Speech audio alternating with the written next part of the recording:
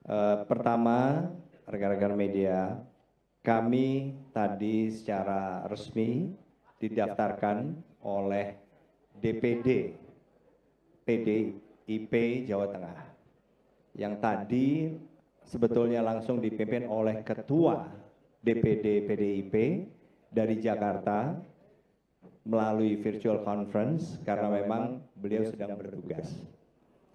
Pertama kami jelas mengucapkan terima kasih banyak kepada DPD PDIP Jawa Tengah yang telah membantu semua proses pendaftaran sampai dengan diterima oleh KPUD Jawa Tengah tadi.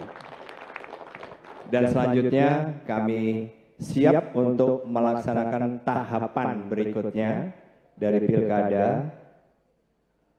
Sesuai dengan keputusan berikutnya dari KPUD Provinsi Jawa Tengah.